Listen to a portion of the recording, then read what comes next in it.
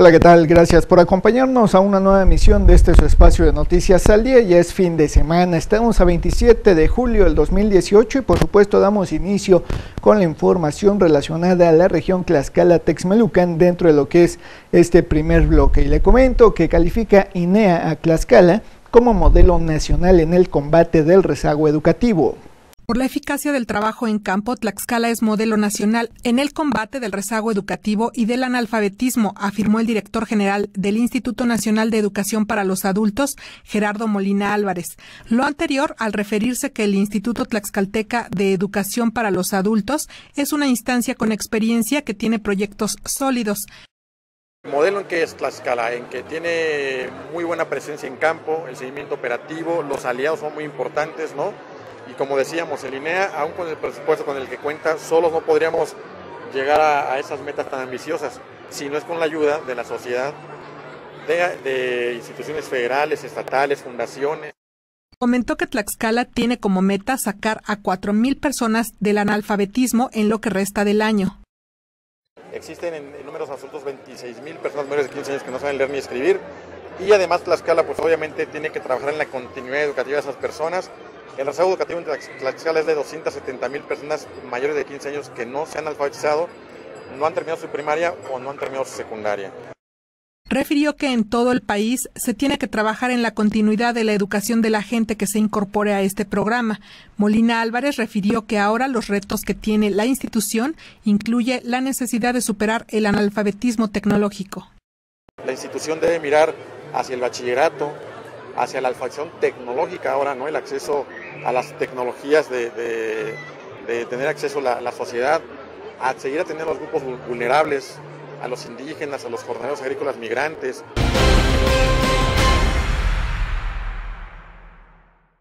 Por otra parte, registra CONAFOR 263 incendios en 30 municipios tlaxcaltecas en lo que va del año del año en Tlaxcala se han registrado 263 incendios provocados principalmente por quemas agrícolas. En un total de 30 municipios, reportó la Comisión Nacional Forestal. La gerente estatal de la CONAFOR, Gisela Cepeda, refirió que a pesar de que se han realizado diferentes llamados a los productores agrícolas para que eviten esta práctica, los campos de cultivo se siguen sometiendo a este tipo de tratamientos. Con una afectación de 1.720.45 hectáreas y un promedio de afectación por incendio de 6.54 hectáreas. Entonces, eso es lo que nosotros hasta ahorita llevamos. Y pues de esta superficie,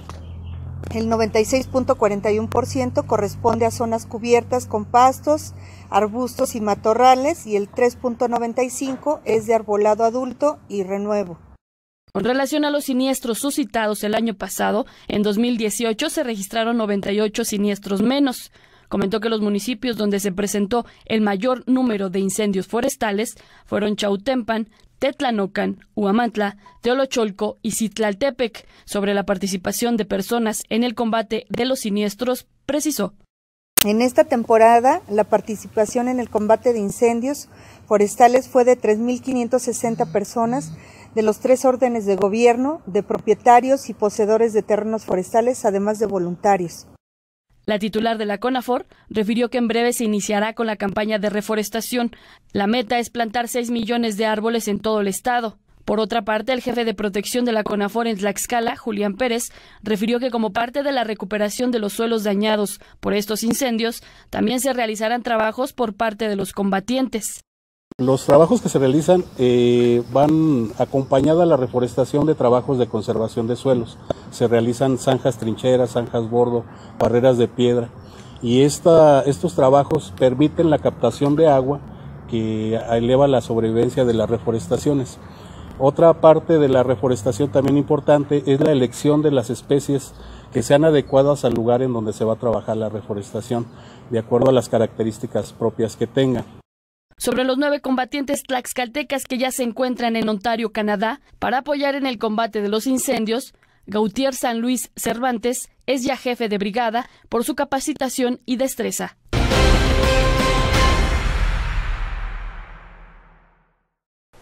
En una nota más, Fortalece se fue a lechería familiar en Tlaxcala con asistencia técnica. La Secretaría de Fomento Agropecuario se fue a capacitó a más de 100 productores de la cadena de bovinos de leche de 11 municipios del estado a través de la asistencia técnica que fortalece la rentabilidad de las cuencas lecheras de Tlaxcala, brindando también apoyo a productores en la adquisición de equipos para la producción primaria, el manejo post-ordeño, así como a grupos organizadores a quienes se les brinda asesoría, con la finalidad de que los apoyos que reciben se traduzcan en una mayor productividad de sus unidades, además de asesorías en las unidades de producción y lugares de trabajo de las familias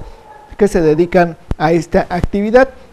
por lo que de esta manera se fortalece el desarrollo de conocimientos y nuevas capacidades en los beneficiarios de los programas ganaderos con el objetivo de que los productos que elaboran cumplan con los estándares de calidad que marcan las normas sanitarias vigentes. Por otra parte, dentro de más de la información correspondiente a algunos de los municipios de la zona sur del vecino estado de Tlaxcala, autoridades estatales y municipales inician ordenamiento vial en Zacatelco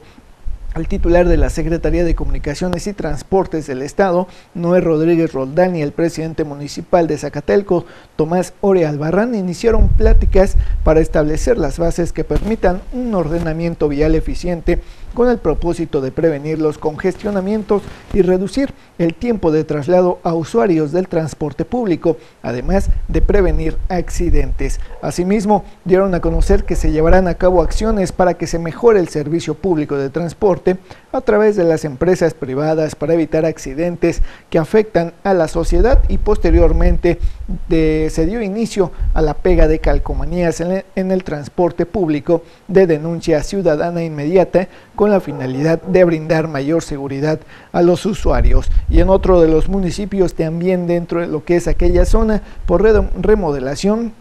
en Hospital del IMSS trasladarán cirugías a Hospital de Nativitas a partir de agosto, derivado de la remodelación a los quirófanos del Hospital General Zona 1 La Loma. A partir de la segunda semana de agosto de este 2018, todas las cirugías programadas se realizarán en el Hospital de Nativitas gracias a la coordinación interinstitucional entre el Instituto Mexicano del Seguro Social, el IMSS, Delegación Tlaxcala y la Secretaría de Salud del Estado, CESA, y para asegurar el buen servicio, en la realización de las cirugías en el Hospital de Nativitas del CESACLAX. En días pasados, el delegado del IMSS Tlaxcala, Gibran de la Torre, acompañado de personal médico directivo, llevó a cabo un recorrido en las instalaciones para determinar la necesidad de equipo a trasladar para la realización de las cirugías programadas en el hospital de la zona 1. Y continuando con información relacionada a la región Tlaxcala Texmelucan, SCT pagará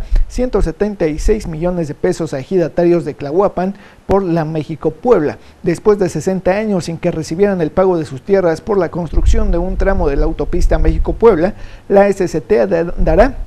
176 millones de pesos a los dueños de los terrenos de Santa Rita Clahuapan. El acuerdo se dio luego que los campesinos realizaron manifestaciones en Ciudad de México y en la Secretaría de Comunicaciones y Transporte, la SCT en Puebla, además de cerrar la autopista México-Puebla por más de siete horas durante la noche y madrugada del pasado lunes 23 y martes 24 de julio, por lo que tal Tal parece que ahora sí, los ejidatarios recibirán el pago de sus indemnizaciones por las 36 hectáreas que les fueron expropiadas en 1958. Por otro lado, resultado de una acción inmediata y tras un enfrentamiento con delincuentes, policías estatales preventivos adscritos a la Secretaría de Seguridad Pública y elementos de la Secretaría de Seguridad Pública y Tránsito Municipal lograron la detención de un hombre y el aseguramiento de dos camionetas con hidrocarburo robado en el centro de la comunidad de El Moral, ubicado en San Martín, Texmelucan. Y es que tras una persecución, los presuntos delincuentes descendieron de los vehículos e intentaron darse la fuga a pie, efectuando algunos disparos de arma de fuego contra el personal uniformado, quienes repelieron la agresión y finalmente lograron detener a una persona del sexo masculino y decomisaron las dos camionetas. Y ya para ir finalizando con esta primera parte de nuestra información programada o preparada para este fin de semana, Contraloría eh, detiene Contraloría a dos médicos del Hospital Integral de Texmelucan. Durante la mañana de este jueves, presuntamente, autoridades de la Secretaría de Contraloría detuvieron a dos médicos del Hospital Integral de Texmelucan y los presentó ante el Ministerio Público por el presunto delito de usurpación de funciones, pero ambos aprobaron su relación laboral con la Secretaría de Salud del Estado de Puebla. Y es que horas después al dar eh, a conocer en eh, al, eh, horas después al dar a conocer en un escrito que ambos médicos mantienen una relación laboral con la dependencia, estableciendo que uno de ellos cuenta con un contrato de base mientras que el otro labora bajo una modalidad eventual para atender incidencias, finalmente la dependencia estatal resaltó que permanecerá atenta de los informes de la Contraloría para que esclarezca el motivo de su actuación contra estos dos médicos del Hospital Integral de Texmelucan, como ya le comentaba hace unos momentos. De esta manera, pues, lo invito a que nos acompañen. Vamos a una muy breve pausa con nuestros amigos también que forman parte de este espacio de noticias al día.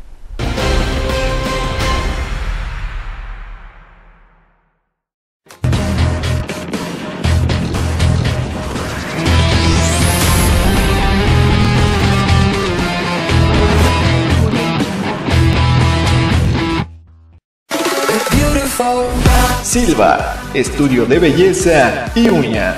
23 años de experiencia ofreciéndole siempre el mejor servicio en cortes, peinados, tintes, mechas, extracción de color, tratamientos faciales y capilares, así como aplicación de uñas, French, natural y cristal. Además, manejamos paquetes para novia y 15 años. Visítanos en calle Aquiles Cerdán número 19, segundo barrio en Huejotzingo. Citas a los teléfonos 227-107-2300 y 27-619-07. Silva, estudio de belleza y uñas. Farmacia Vita Pharma 2 le ofrece todo tipo de medicamento de patente, genérico y similar, además de lácteos y una gran variedad en artículos de perfumería. Contamos con descuentos del 30 al 50% y un descuento especial a personas con credencial del INAPAM. Farmacia Vita Farma 2 le sigue atendiendo en Plaza Principal, lado sur número 201, Colonia Centro en Huejotzingo, en un horario de 8 de la mañana a 10.30 de la noche. Servicio a domicilio al 27 6 16 23. Farmacia Vita Farma 2.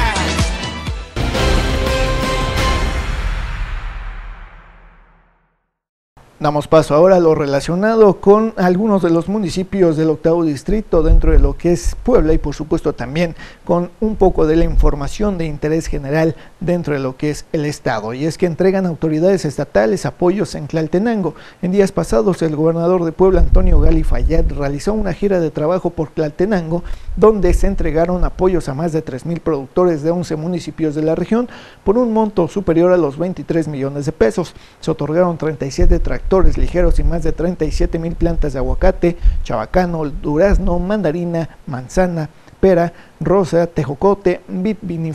y zarzamora, además de entregar a campesinos 63.3 toneladas y más de mil litros de fertilizante, 30 vientres y dos sementales ovinos, 1.656 paquetes de herramienta agropecuaria y 1.250 calentadores solares. Finalmente, por un monto cercano a los 11 millones de pesos, se llevó a cabo la firma de un convenio de agricultura por contrato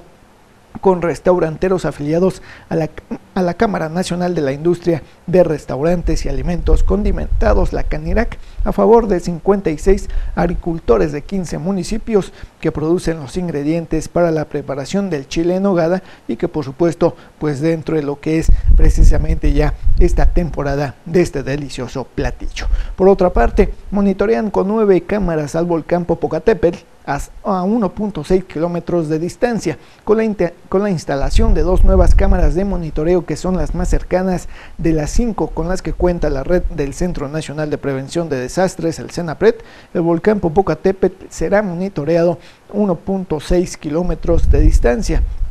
El director general del Senapred, Carlos Valdés, explicó que estas cámaras permiten a los especialistas ver el remanente de los glaciares volcánicos y las posibles deformaciones en el cuerpo del volcán y agregó que se trabaja en el análisis y el procesamiento, además de que se colocarán gráficas de deformación donde la gente podrá ver una línea recta que quiere decir que el volcán está muy estable y si hay un proceso de inflación. Por otra parte, dentro de otro de los municipios, continúan con trabajos de reconstrucción en escuelas de Chiautzingo tras sismo del año pasado, como parte de los trabajos de reconstrucción a través del Comité Administrador Poblano para la Construcción de Espacios Educativos, el CAPSE, en los últimos días se ha dado continuidad a las obras de reconstrucción en la primaria Ignacio Zaragoza, ubicada en San Antonio Clatenco, perteneciente a San Lorenzo Chautzingo, tras las afectaciones a la estructura del edificio B por el pasado sismo del 19 de septiembre del 2017. Acciones que también se realizan en la Junta Auxiliar de Clatenco con la rehabilitación del preescolar Tenochtitlan, en el cual se reconstruye en su totalidad la losa de aquella institución. Y en otra de las notas y lamentables sucesos registrados durante las últimas horas, atropellan a masculino en carretera a Xalmimilulco en Huejotzingo. Este viernes, tras un reporte de la Policía Municipal de Huejotzingo que hacía del conocimiento sobre una persona atropellada en la orilla de la carretera de la comunidad de Santana Xalmimilulco, elementos policíacos y paramédicos arribaron hasta el lugar señalado donde confirmaron la presencia del cuerpo de un hombre que ya no contaba con signos vitales y que de acuerdo al informe fue identificado como José Alvarado Chávez mediante un gafete de la empresa Hidratextil que le fue encontrado por lo que la zona fue acordonada y se esperó el arribo del personal de la Fiscalía General del Estado para realizar el levantamiento del cadáver y realizar las investigaciones correspondientes, aunque de acuerdo a las primeras pesquisas, el desafortunado hombre fue atropellado por una unidad desconocida, pues a un costado del cuerpo fue hallada una bicicleta en la que presuntamente se trasladaba este sujeto hacia su trabajo. Por otro lado, y ya dentro de la información de interés general dentro de lo que es el estado poblano, emiten declaratoria de emergencia extraordinaria por altas temperaturas a 17 municipios de Puebla. La Coordinación Nacional de Protección Civil de la Secretaría de Gobernación emitió este día una declaratoria de emergencia extraordinaria para, los municipios de Acatlán, Albino Certuche, Axucla, Chaucla, Ixcamilca, Ixcamilpa de Guerrero, Petlalcingo, San Martín Totoltepec, Chietla, San Pedro Yelochticlagua, Tehuilcingo, Teoclalco, Tulcingo, San José Mihuaclán, Cuetzalan del Progreso, Vicente Guerrero, Izúcar de Matamoros y Jolalpan, dentro de lo que es Puebla, por la presencia de una onda cálida ocurrida del 23 al 26 de julio, activándose así los recursos del Fondo para la Atención de Emergencias del Fonden, recursos con los que contarán autoridades del gobierno estatal para atender las necesidades alimenticias, de abrigo y de salud de la población afectada. Por otra parte, CONAVIM emite 15 recomendaciones al gobierno de Puebla por alerta de género. La Comisión Nacional para Prevenir y Erradicar la Violencia contra las Mujeres, CONAVIM, informó que hizo 15 nuevas recomendaciones al gobierno de Puebla como resultado de las solicitudes que hicieron la Comisión Nacional de los Derechos Humanos, la CNDH, y las organizaciones civiles, esto con la finalidad de mejorar las capacidades institucionales en distintas áreas para tratar con problemas de violencia de género, entre las que destacan la de mejorar la procuración y administración de justicia, estrategias para combatir la trata de personas, la desaparición y no localización de mujeres, entre otros, y es que si los casos de violencia contra las mujeres siguieran, se podría contemplar la implementación de alerta de género, como se ha hecho en otros estados. Por su parte, Diodoro Carrasco señaló que las nuevas recomendaciones que emitió el CONAVIM se desarrollan o se van a desarrollar entre los meses de julio y noviembre. Además, anunció que se crearon 15 comités y un gabinete especializado para dar seguimiento al plan de trabajo acordado. Ya para concluir con nuestra información de interés general dentro de lo que es Puebla, eh, le comento en una nota relacionada o que aquí mismo le, le comentábamos anteriormente, Morena se resiste a perder Puebla, suman ya 37 juicios de inconformidad por segunda ocasión en menos de un mes y mientras se revisan ante instancias correspondientes las solicitudes de invalidez de la constancia de mayoría entregada a la panista Marta Erika Alonso el pasado 8 de julio y la nulidad de la elección, futuros diputados locales y federales y senadores exigieron a través de un desplegado una nueva elección en esta entidad con el argumento de que el grupo del ex gobernador Rafael Moreno Valle robó el triunfo a Luis Miguel Barbosa Huerta, además de que un total de 37 juicios de inconformidad por el resultado de la elección a la gubernatura son los que ha recibido el Tribunal Electoral del Estado de Puebla, que se suman a 98 inconformidades contra la elección en distintos ayuntamientos y 12 contra los resultados de la elección a diputados locales. Asimismo, Barbosa informó que este jueves inició un proceso ante el Tribunal Electoral del Poder Judicial de la Federación y el Instituto Nacional Electoral, el INE, para destituir y sancionar a integrantes del Instituto Electoral del Estado de Puebla, pues aseguró que los consejeros se vendieron y violaron la ley en todo el proceso electoral. Así es que bueno, pues veremos qué es lo que sucede en los próximos días con respecto a este tema, del cual pues bueno, ya le comentábamos también anteriormente, habría todavía bastante que conocer al respecto. Por lo pronto, esto ha sido todo en esta ocasión dentro de esta emisión del fin de semana ya viernes 27 de de julio del 2018 y por supuesto no nos vamos sin antes sin antes recordarle que nos acompañe ahora en redes sociales, en, YouTube y en Facebook principalmente, nos encuentre Barco Producciones para que conozca de la información que se va generando eh, conforme al paso de las horas dentro de lo que es la región Tlaxcala Texmelucan y por supuesto también con lo relacionado a algunos de los municipios del octavo distrito y por supuesto también dentro de lo que es Puebla en general. Pásenla muy bien, lo invitamos a que nos acompañe el próximo lunes con más de la información aquí en Noticias, Noticias al Día. Por lo pronto, esto ha sido todo en esta ocasión. Pásela excelente, que tenga un estupendo fin de semana. Gracias por el favor de su atención.